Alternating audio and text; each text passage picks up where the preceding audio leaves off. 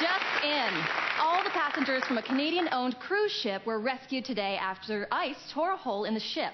The damaged vessel has immediately been taken out of service and sold to BC Ferries. This week, Queen Elizabeth and Prince Philip celebrated their 60th anniversary. It's been a fairy tale romance. The Queen did find her prince, and everyone around them has lived unhappily ever after. That's all we have for this week. We'll be back next Friday. Thanks for watching.